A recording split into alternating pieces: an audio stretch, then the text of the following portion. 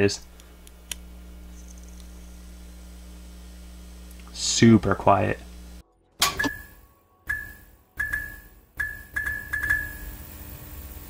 Fifty-two Pi has dropped us off his ultimate cool fan kit, high-level open source hardware.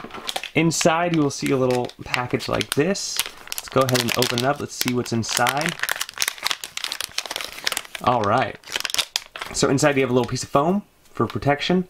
You have the dual fan with a solid heatsink on here. So that's actually really cool. It's a solid heatsink, two fans on top. And they give you this little cooling pad here that's double-sided tape. I have a couple here, uh, a couple different heatsinks. I've uh, Arctic 5, Arct Arctic Silver 3, I have some other stuff. I'm gonna go ahead and do 5 because it's the best out there. And uh, just gonna put some on the processor here good amount. I'm going to go with the squishing approach. I'm going to squish it on there after and spread it out. And then some on the, there. Okay, cool. Really dirty, I know. But uh, it should be alright once we put this on. And then, I mean, you can have it go either way. I kind of like it here because you have plenty of space still. So, and then now you have a couple options how you want to line it up.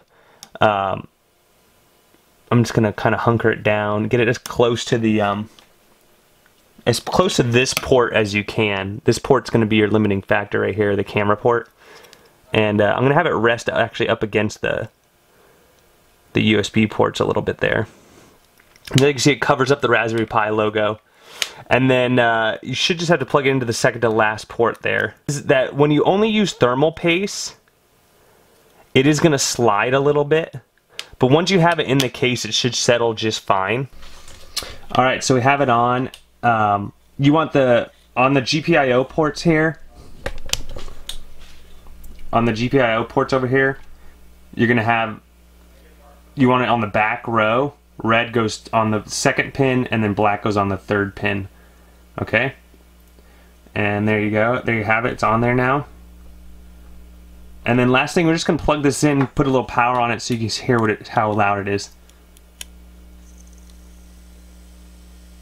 Super quiet. Wow.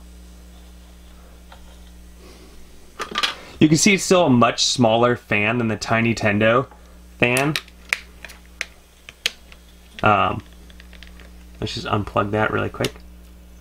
If we were to do like the Tiny Tendo Tiny Tendo fan, also very quiet.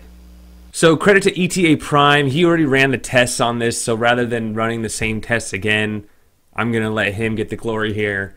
Um, as you can see with the small heatsink that you get with these CanaKits and things like that on the left, and then over on the right, the dual fan. As you can see, there's like almost a, what is that, 416 and a half or more degrees Celsius difference.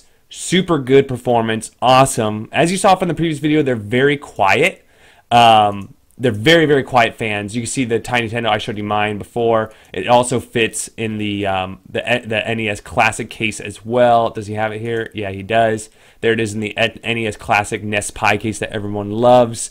And uh, but at the end of the video, he agrees, and I do too, that the BQ or the Flirc 2 or any of the aluminum cases are going to do a better cooling job than the um, than this fan itself. The only thing to keep in mind with these is that it does block your Bluetooth and your Wi-Fi signal, so it's not going to be as powerful once they're in there. That is a big downside to these cases.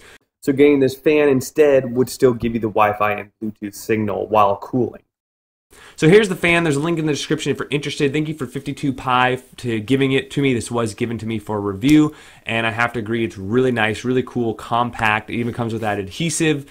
Um, but with the uh, thermal grease, you will get the best performance. So do keep that in mind. But otherwise, um, these are your options. It's a great option. Let me know what you guys think. Don't forget to like, subscribe, and we'll see you on the next one.